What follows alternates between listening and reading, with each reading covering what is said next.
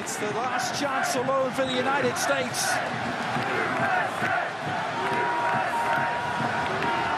RFK is rocking as the corner comes in. Oh, the Owen header! And the equaliser!